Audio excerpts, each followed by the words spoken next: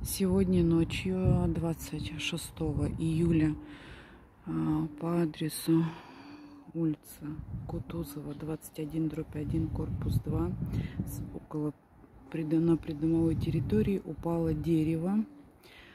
А, корень дерева отгнил. Сейчас. Вот так вот он отгнил весь трухлявый, гнилой. Два дерева упало на машины во дворе. Повредило около семи машин,